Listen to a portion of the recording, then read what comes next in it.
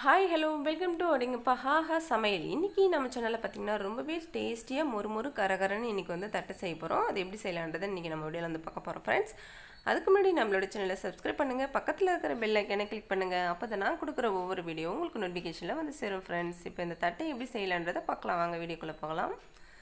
இப்போ நான் ஒரு அஞ்சு வரமிளகாய் எடுத்திருக்கேன். நல்லா கொதிக்கிற தண்ணியில் நம்ம வந்து ஊற்றிக்கலாங்க ஊற்றி ஒரு அஞ்சு டு ஒரு பத்து நிமிஷம் ஊற வச்சுக்கலாம். ஏன் இந்த மாதிரி செய்கிறோம் அப்படின்னா நமக்கு வந்து சீக்கிரமாக வந்து ஊறிடும். நல்லா அரைஞ்சி வருங்க நல்லா சாஃப்டாக இருக்கும். அதனால நான் வந்து மிக்ஸி சாரில் சேர்த்துட்டு இப்போ வந்து நான் அரைக்க போகிறேன் உங்களோட காரத்துக்கு ஏற்ற மாதிரி நீங்கள் கூட குறைச்சி சேர்த்துக்கோங்க.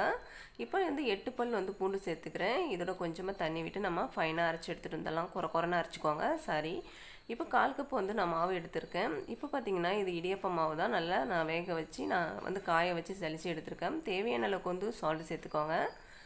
ஒரு மூணு டீஸ்பூன் வந்து நான் வந்து பொட்டுக்கடலை மாவு வந்து சேர்த்துக்கிறேங்க. நல்லா மொறு மொறுன்னு இருக்கும். இப்போ பார்த்தீங்கன்னா ஒரு டீஸ்பூன் கருப்பில் கால் டீஸ்பூன் ஜீரகம் கால் டீஸ்பூன் வந்து ஓமம் சேர்த்துருக்கேன். இந்த மாதிரி இது போட்டு செய்கிறதுனால நமக்கு டேஸ்ட் வந்து சூப்பராக இருக்கும். கடித்து சாப்பிடும்போது ஒரு மூணு கொத்து கருவேப்பிலை பொடியை கட் பண்ணி சேர்த்துக்கோங்க. இப்போ பார்த்தீங்கன்னா ஒரு அஞ்சாறு பல் பூண்டை வந்து நசுக்கி நல்லா சேர்த்துக்கிட்டேன். இப்போ இது சேர்த்துட்டு நாம் வந்துட்டு கடலைப்பருப்பு வந்து பெருங்காயம் வந்து தேவையான அளவுக்கு சேர்த்துக்கலாங்க. நான் வந்து ஒரு டீஸ்பூன் அளவுக்கு சேர்த்துக்கிட்டேன்.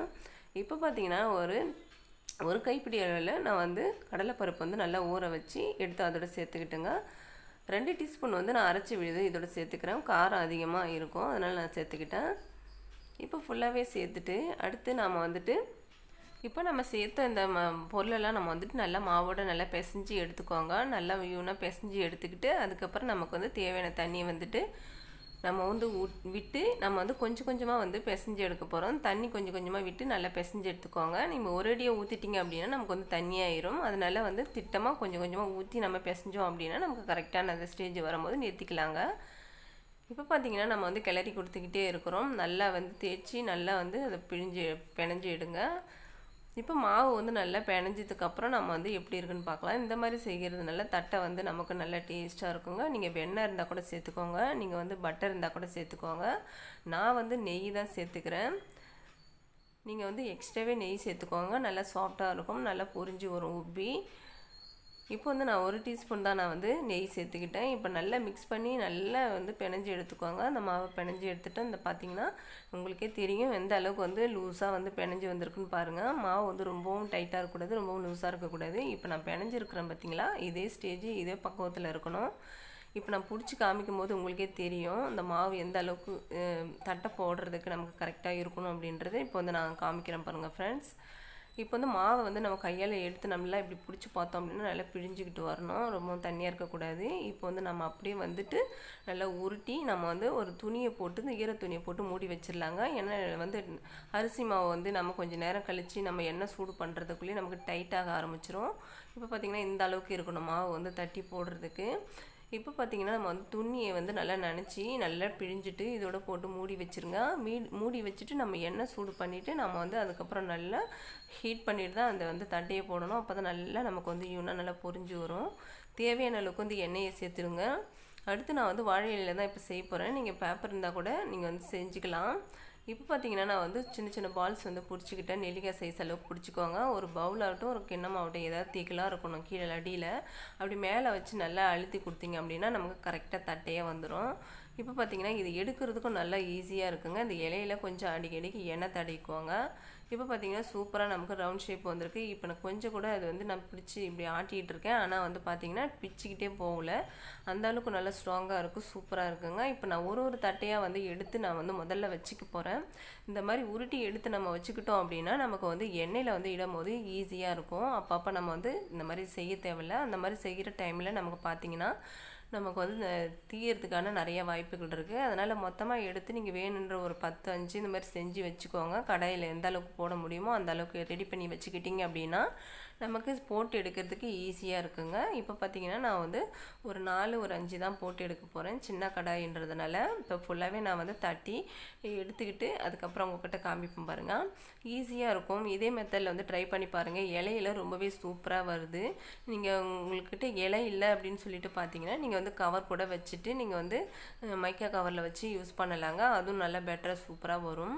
இந்த மாதிரி கண்டிப்பாக ட்ரை பண்ணி பாருங்கள் ஃப்ரெண்ட்ஸ் இப்போ வந்து நம்ம எல்லாத்தையும் போட்டு முடிச்சிட்டோம். அடுத்து பார்த்தீங்கன்னா நம்ம வந்து இந்த போ இந்த இது தட்டி முடித்த உடனே பார்த்தீங்கன்னா நம்ம வந்து உங்கள்கிட்ட ஃபோக் இருந்துச்சுன்னா நீங்கள் வந்து லைட்டாக குத்தி ஓட்டை போட்டுக்கோங்க.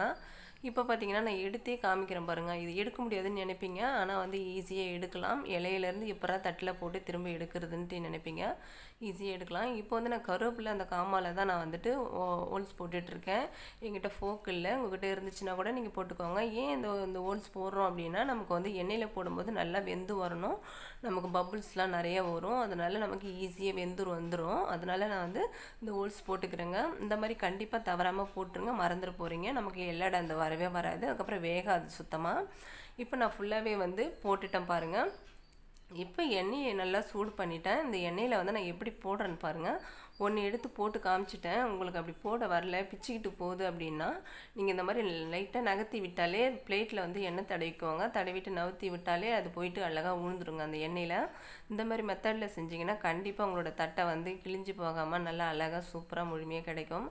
நீங்களும் வந்து கண்டிப்பாக ட்ரை பண்ணுங்கள் இந்த டிப்ஸ் உங்களுக்கு பிடிக்கும். இப்போ நீங்கள் வந்து அப்படியே லைட் லைட்டாக இது பண்ணிங்கன்னா எண்ணெய் நல்லா சூடாக இருந்ததுல வேகிற டைமில் அதுவாக பிரிஞ்சிரும். நம்ம வந்து இடையில இடையில நம்ம வந்து ந- திருப்பி கொடுத்துட்டே இருக்கணும். அப்போ தான் ஈவனாக வந்து தட்டை வந்து வேகுங்க. நீங்கள் ஒன் சைடு விட்டுட்டீங்க அப்படின்னா ஒரு பக்கம் கருப்பாயிடும் ஒரு பக்கம் வேகாம ஆயிரும் இப்போ பார்த்தீங்கன்னா உங்களுக்கே தெரியும் நல்லா வேக வேக நமக்கு அந்த பருப்பெல்லாம் நல்லாவே சூப்பராக தெரிய வருது. இப்போ பார்த்தீங்கன்னா நல்லாவே வந்து சூப்பராக ஈவனாக வெந்து வந்துட்டு நல்ல மொறு மொறுன்னு தட்டை வந்து நமக்கு ரெடி ஆயிடுச்சுங்க இந்த மாதிரி இருக்கிற மாவெல்லாம் நான் வந்துட்டு போட்டு எடுத்து வச்சுக்க போகிறேன் இந்த மாதிரி நீங்கள் வந்து தீபாவளி ஸ்பெஷல் வந்து நீங்கள் செய்யலாம். கிருஷ்ண சேந்தி கூட செய்யலாம். ரொம்பவே சிறப்பு. இந்த தட்டை வந்து நல்லா மொறு மொறுன்னு நல்லா கிறிஸ்பியாக நல்லா கரகரம் மொறு மொறு நல்லா கடிச்சு சாப்பிடும்போது அவ்வளோ ஒரு டேஸ்ட்டாக இருக்குதுங்க. இப்போ நான் ஃபுல்லாகவே வந்து தட்டியை போட்டு முடிச்சுட்டேன். இப்போ வந்து ஒரு பாத்திரத்தில் பார்த்திங்கன்னா நான் கேக் செய்கிறதுக்கு நான் வந்து ஷீட் வந்து செஞ்சு வச்சுருந்தேன். அதை தான் நான் யூஸ் பண்ணுறேன் இந்த மாதிரி நீங்கள் ஒரு ஷீட்டை போட்டு நீங்கள் வந்து போட்டு மேலே வச்சிங்க அப்படின்னா எண்ணெயெல்லாம் நமக்கு வந்து கீழே வந்து அப்சர்வ் ஆயிரும். நமக்கு எண்ணெய் அதில் இருக்காதுங்க. இந்த மாதிரி மெத்தடில் வந்து ட்ரை பண்ணுங்கள் நீங்கள் வந்து இந்த ட்ரை பண்ணி பார்த்துட்டு நீங்கள் வந்து எப்படி இருக்குன்னு சொல்லிட்டு கண்டிப்பாக பாருங்கள் இதை மாதிரி நம்ம ஸ்டோர் பண்ணி வைக்கிறதுனால நமக்கு வந்து நல்லாவே சூப்பராக இருக்கும். இப்போ ஒரு தட்டை எடுத்து நான் உடச்சி காமிக்கிறேன் எந்த அளவுக்கு பொல பொலன்னு உடஞ்சி வந்து பாருங்கள் எவ்வளோ சூப்பராக மாவாட்டம் ஆகுது பாருங்கள் சில தட்டையெல்லாம் பார்த்தீங்கன்னா நல்லா உடைக்கவே முடியாது. கல் மாதிரி இருக்கும். இது நல்லா சாஃப்டாக பொறு பொறுன்னு போயிடுச்சு பாருங்கள் இந்த தட்டை உங்களுக்கு பிடிச்சிருக்குன்னு நினைக்கிறேன். இதே பக்குவத்தில் இதே மெத்தடில் ட்ரை பண்ணுங்கள் ட்ரை பண்ணி பாருங்கள் இந்த தட்டை உங்களுக்கு பிடிச்சிருந்தா லைக் பண்ணுங்கள் ஷேர் பண்ணுங்கள் மறக்காமல் சப்ஸ்கிரைப் பண்ணுங்கள் ஃப்ரெண்ட்ஸ் நன்றி. பாய்